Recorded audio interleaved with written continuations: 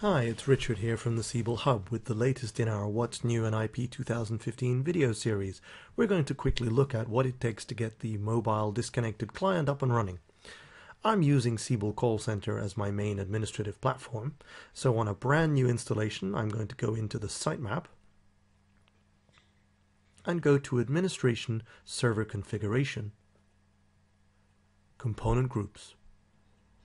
I'm going to query for the two handheld synchronization component groups and make sure that they are both enabled and assigned to my Siebel server before performing all necessary administration in relation to, in relation to enabling component groups. I will also, if I am not using Siebel Pharma Mobile, need to go to my component definitions and query for and then copy an existing component definition. Here you can see the mobile data extract ENU component, which is the standard one. And down below you can see that I've created a copy of it, for example, for Siebel Field Service Disconnected Mobile Client. These steps are documented and are necessary if you're not using Siebel Pharma Mobile as your test application. In addition, don't forget to change any parameter values, specifically the application name, the language, and the repository name. Now we're heading off to Administration Mobile Settings and selecting our application. Selecting whichever application we intend to use, we must make sure that the parameter for the data extraction component now matches the new component definition that we've just created and activated in the previous step. This is only true if we are not using Siebel Pharma Mobile for our demo. Now we'll head off to Administration Siebel Mobile, Mobile Clients. And we'll make sure that our mobile client is defined in this screen. This screen is similar and yet unique in the sense that it looks just like the Siebel Remote Mobile Client, but on the right-hand side, for example, you can see the application name. So my user is actually, my uh, mobile client is actually assigned to a uh, mobile application. And on the left-hand side, you can see that the mobile client includes the minus mobile, which is added automatically when creating a mobile client from this screen. Back to the administration menu and back to server management, jobs. And I'm going to run database extract for my mobile client.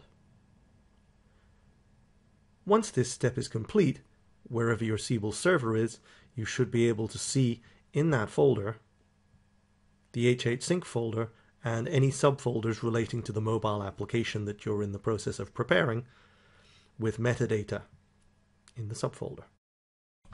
Now if I launch my mobile application and go offline, assuming this is not the first time that I've gone offline, as detailed in the post, we should be able to make changes in the offline client and then see them synchronized in the Siebel call center platform in the backend.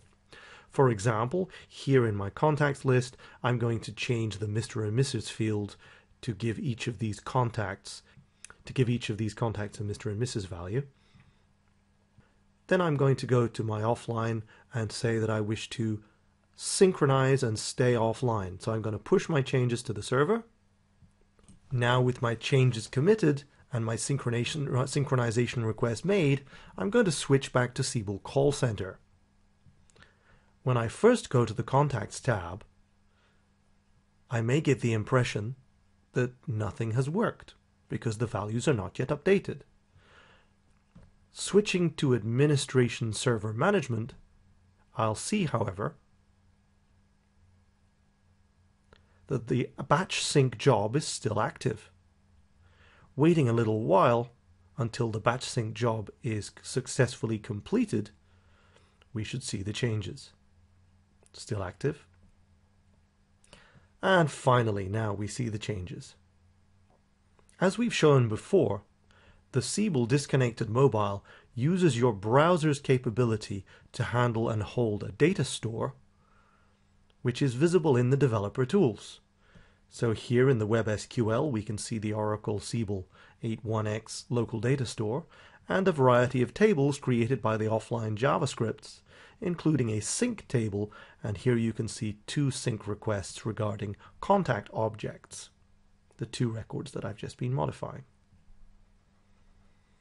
Well, I hope you enjoyed this rapid walkthrough of the Siebel Mobile Disconnected Client and look forward to seeing you again in another video soon.